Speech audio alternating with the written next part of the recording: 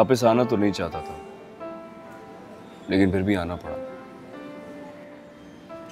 कई बार मैंने सोचा कि पाकिस्तान से अपना बिज़नेस वाइंड अप करके परमानेंटली यूके शिफ्ट हो जाता हूँ। लेकिन जब रामीन का ख्याल आता था तो मेरा माइंड बदल जाता था। फिर चचा के इंतकाल के बाद चची यहाँ अकेली रह गई हैं। मुझे लगता है रामीन को और चची को मेरी ज़रूरत है। मैं जानता हूँ वो मुझसे बहुत नाराज़ होंगी। होना भी चाहिए नाराज़ होना यार। मेरी वजह से उनके ख़ानदान का नाम मिट गया।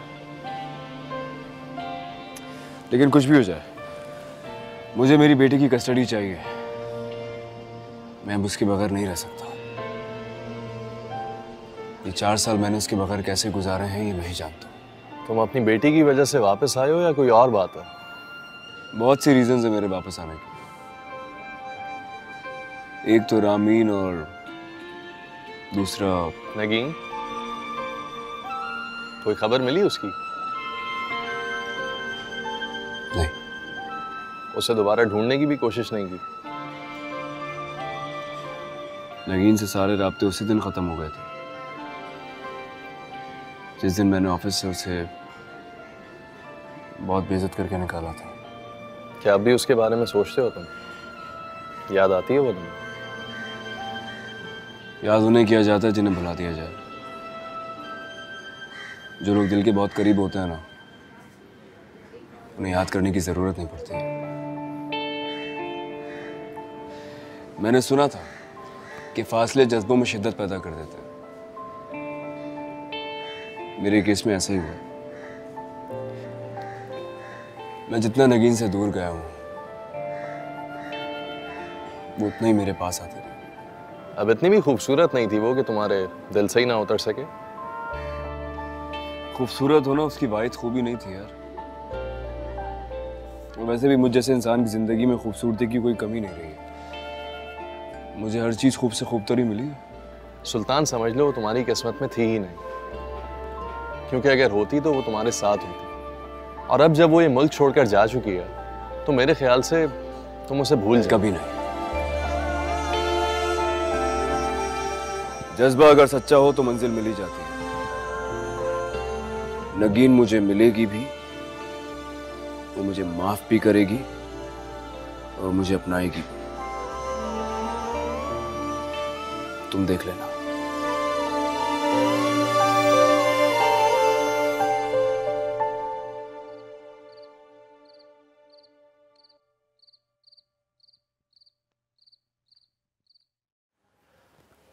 हाँ कहो।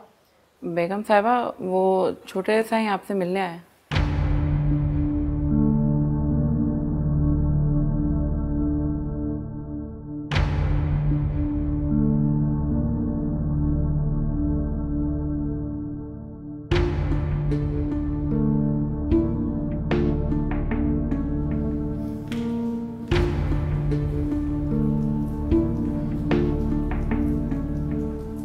क्यों आए हो यहाँ? जी मैं मैं रामीन खबरदार जो अपनी गंदी जबान से मेरी नवासी का नाम भी लिया तो वो मेरी बेटी भी है। इतने अरसे से मैं उसकी सूरत देखने को तरस गया हूँ। चार साल के बाद आज तुम्हें अपनी औलाद का ख्याल आ गया? नहीं चाची। नहीं। मुझे उसका ख्याल रोज आता था। कोई एक भी दिन ऐसा नहीं गुजरा जिसमें मैंने उसको मिस ना किया हो। सिर्फ़ आपकी नाराज़गी के डर से मैं यहाँ नहीं आता था। मैं मानता हूँ कि मैं आपका मुजरिम हूँ। मैं आपसे माफ़ी मांगने आया हूँ। मुझे बताएँ मैं किस तरह माफ़ी मांगूँ आपसे? बहुत शर्मिंदा हूँ अपने किए पर। वो जो भी कुछ हुआ मैंने इंटेंशनली नहीं किया। बेहतर है कि तुम यहाँ से चले जाओ और दोबारा यहाँ कदम मत रखना। तुम्हारे हिस्से की जायदाद तुम्हें मिल गई है। ये हवेली और बाकी की जायदाद भी मेरे मरने के बाद तुम्हें मिल जाएगी। लेकिन जब तक मैं ज़िंदा हूँ आप प्लीज़ ऐसी बातें मत कहें। मुझे इस जायदाद हवेली में कोई इंटरेस्ट नहीं है। मैं मैं बस अपनी बेटी से मिलने आया था और और आपसे माफ़ी मांगने आया हूँ। जो कुछ हुआ आप उसे भूल जाइए। मैं मानता हूँ, आपका मुझे माफ़ करना बहुत मुश्किल है। लेकिन हाथ जोड़ के माफ़ी माँगता हूँ। प्लीज़ मुझे मुझे माफ़ कर दे। तुम्हारी नाराज़गी से तुम्हारी शर्मिंदगी से मुझे क्या लेना देना? तुम्हारे माफ़ी मांग लेने से मेरे घर की खुशियाँ वापस नहीं आ सकती। बेहतर है कि तुम चले जाओ। नानो नानो। रामीन चची बस एक बार समीना, एक बार मुझे गले लगाने दे समीना ले जाओ इसे। मे- मेरी बात सुने। रामीन रामीन बेटे आओ। माँ की बेटी है जिसके तुम कातिल हो। मैं कातिल नहीं हूँ किसी का। चची वो जो कुछ हुआ था वो एक्सीडेंट था। आपको क्यों यकीन नहीं आता? है मैं तुम्हें उसके करीब भी नहीं आने दूँगी। तुमने सब कुछ मेरा छीन लिया है। मेरी ज़िंदगी का आखिरी सहारा भी मुझसे छीनना चाहते हो? नहीं। मैं रामीन को आपसे छीनने नहीं आया। और ना ही उस पर अपना हक जताने आया हूँ। मैं सिर्फ़ एक बार उससे मिलने आया था और और आपसे माफ़ी मांगने आया था। अगले हफ़्ते मैं रामीन के नाम से एक न्यूज़ चैनल लॉन्च कर रहा हूँ। और बहुत जल्द अपना सियासी करियर भी शुरू करूँगा। चचा जान का ख्वाब था, बस उसे अब पूरा करने जा रहा हूँ। मुझे आपसे कुछ नहीं चाहिए। सिर्फ़ आपकी दुआओं की ज़रूरत पड़ेगी। मेरी एक छोटी सी ख्वाहिश ये है कि आप अगर इफ्ताही तकरीब में मेहमान खसूसी बन के आ जाएँगी तो मेरी उस तकरीब में शिरकत नामुमकिन है।